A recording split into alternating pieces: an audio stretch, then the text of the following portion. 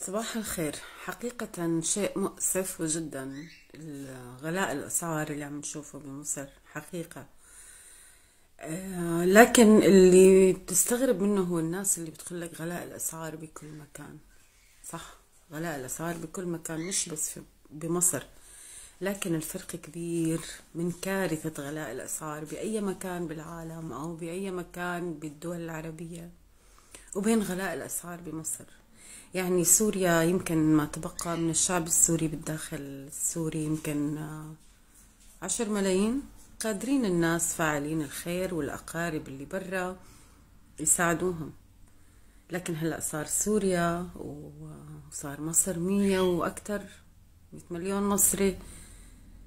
فمصر قادمة على كارثة ومجاعة. وبتذكرنا بأيام الفاطميين. أكلوا لحوم البشر والقطط والكلاب الله لا يقدر. آه عند الشعب المصري ثلاثة حلول.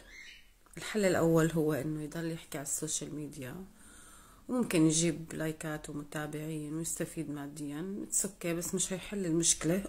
واللي حيقدر إنه يمسكوه حيمسكوه. طبعا أنا مش بتهم في ناس عم تطلع مش هدفها likeات. بالعكس نحييها وعلى راسنا. لكن عم بحكي إيش النتائج.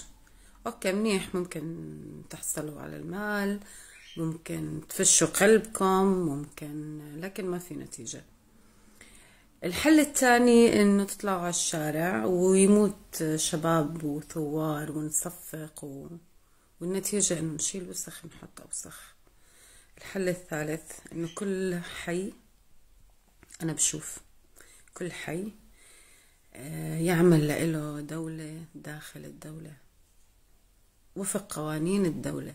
لكن هذا الحي له مجلس إدارة. لك سموه شو ما بدكم المهم لما تصير مشاكل في مرجعية على النظام القبلي القديم يوزعوا آه، الأرزاق بين البشر وما حدا يبخل على الثاني وما حدا يخاف ويحكى الهم بكرة. المحبة هي اللي رح تجيب لكم الرزق. من رب العالمين والحلول. نبلش نزرع. غير هيك ما حتستفيدوا شي. ما حتستفيدوا أي شيء. من هلأ بلشوا عملوا لإلكم كبير. لأنه عندكم بوليس وبلطجية وجيخ وجيش. ف بلشوا نظموا أنفسكم على الصعيد الضيق اللي جاي كتير كبير.